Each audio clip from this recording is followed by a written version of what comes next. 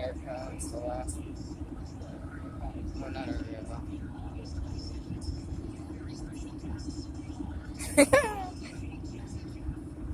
Don't